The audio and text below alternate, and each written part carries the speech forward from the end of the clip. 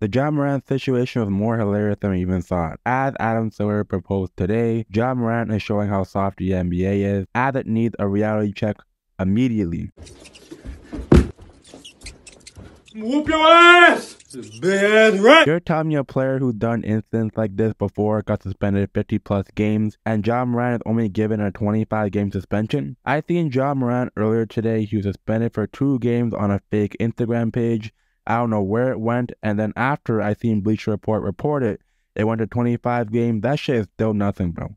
He's clearly running away with the situation, and he hasn't learned his lesson, as he says so. Ja Morant clearly is a very good player. He's like a Derrick Rose clone of the NBA right now and he's an inspiration to all others who love basketball. But Adam Silver is clearly listening to all these rumors of having a toy gun on Instagram Live, like what the gun was. But who knows? David Stern would have dealt with this issue differently. This NBA is really soft, like how the referees are out there. But who knows? I'm just creating content, but like and follow for more. I'm out.